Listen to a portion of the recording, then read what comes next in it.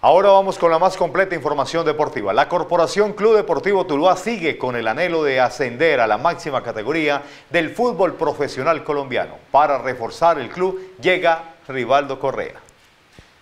El delantero llega del Independiente Medellín al elenco Centro Vallecaucano para aportar lo máximo posible al equipo. Bueno, no, una linda experiencia que adquirimos en el Suramericano Sub-20. Ahora creo que tengo que mentalizarme en ese equipo, trabajar de la mejor manera y hacer goles.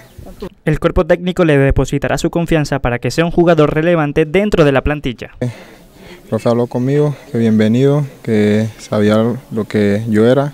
Bueno, ahora esperar que todo se me dé. Rivaldo llega al club a préstamo de la Independiente Medellín con dos goles como profesional y una buena experiencia por el sudamericano con la selección Colombia en Chile, ya clasificados para el Mundial de Polonia. El delantero se prepara con exigentes entrenamientos en la semana para dejar una huella en el equipo corazón y ganarse la titularidad.